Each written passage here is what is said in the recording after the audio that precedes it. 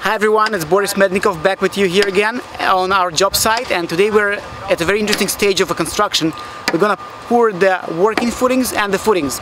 So you might ask me, Boris, we, you said you're gonna build on piles, right? So why do we need footings? So in that case, we have something that's called working footings and lots of people don't even know what it is and don't use it. But uh, the thing is, we're building our foundation from ICF blocks. ICF stands for insulated concrete forms. So that form is a, is a block and a block made of uh, styrofoam on both sides and when we build the basement that way, we basically build those uh, blocks as a Lego and pour the concrete right inside.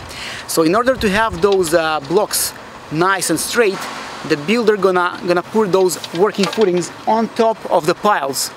So basically, what we're gonna have, we're gonna have a nice straight platform to lay the blocks on, so everything gonna be nice and straight.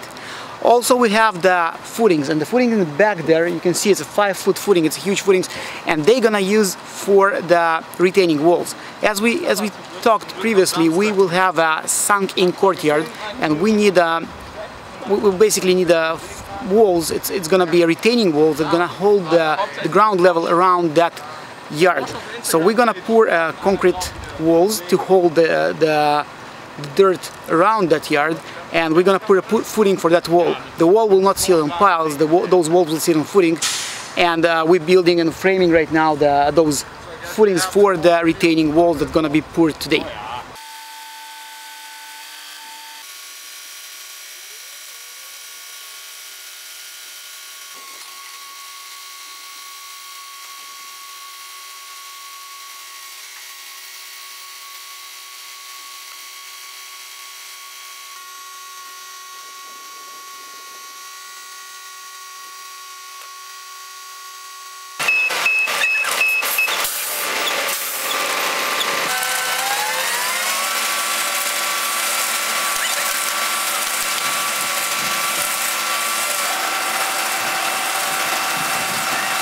Okay, we set, set up the concrete pump here already and we have the trucks, the concrete trucks coming with the concrete and this time, not as the previous time with piles, we're gonna use and we're using the concrete pump. The reason for it, we cannot go down low as we did last time with the concrete trucks because we have the footing built up.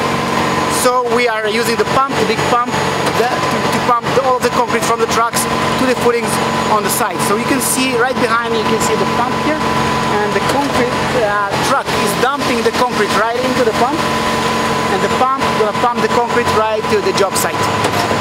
Okay, so we can see the big pump right here and it's have the long sleeve pumping the concrete from the trucks right to the job site to pour the footings.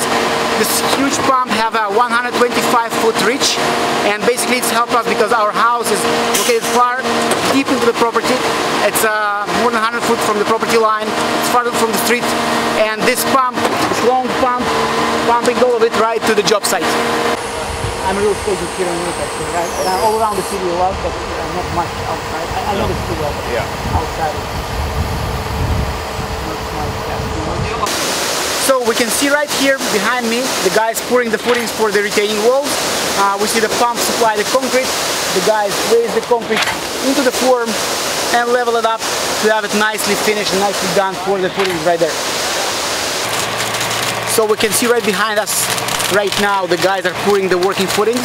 Uh, the pump still pouring the concrete and the guys leveling the, the concrete to have a nice straight form so they will be able to work on top of it and build their ICF forms later on. Okay guys, so we're almost done here for today. It's been a long hard day of work and uh, everything is almost ready. We have the working footings in place. We have the big footings for the retaining walls in place. The guys right now are placing the rebar into the big footings. Uh, that rebar will hold the retaining walls in place and basically attach them to the footing later on when we're gonna, when we're gonna form and and uh, pour the retaining walls. Uh, we're gonna let few days for the concrete to dry and then we're gonna proceed with our job and we're gonna place the ICF blocks on top of those working footings and start forming the basement walls.